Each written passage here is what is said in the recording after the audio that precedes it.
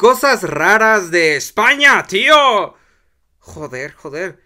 ¿Cómo mola? Todos los años se celebra en Pamplona, la capital de Navarra, los Sanfermines, festejos por uno de los santos patronos de la ciudad. Dentro de esos festejos están las ocho corridas que se celebran a las 8 de la mañana, donde durante unos minutos la gente corre despavorida de un grupo de toros enardecidos. El trayecto que se cierra es de poco más de 800 metros desde los corralillos hasta la plaza de toros y se sueltan 12 animales. 6 toros furiosos y 6 cabestros, que son una especie de toro castrado que nada más guía a los demás toros. Y al final del recorrido, como no puede ser de otra manera...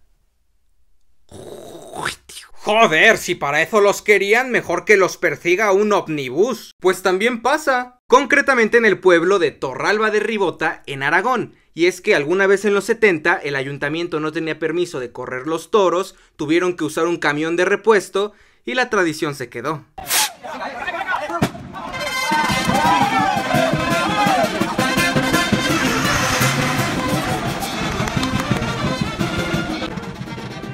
Esto es lo más teta de monja que he visto, tío.